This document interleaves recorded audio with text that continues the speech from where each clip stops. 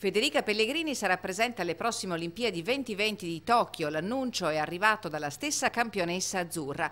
Alla fine ho capito che la sfida è con se stessi e questa scelta l'ho fatta per me, ha detto l'olimpionica di Spinea. Non potevo smettere quello che ho fatto per una vita e finire con un ricordo così, un quarto posto, una medaglia mancata di pochissimo a Rio. Non volevo chiudere la mia carriera così.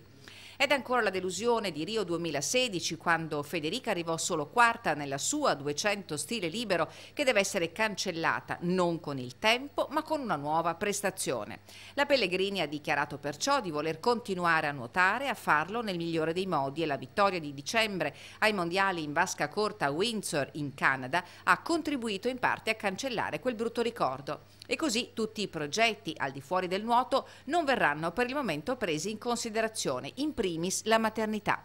Una donna sente quando arriva il momento anche per fare dell'altro, confessa Federica, che ha deciso di spostare tutto in avanti proprio perché quel momento non è ancora arrivato.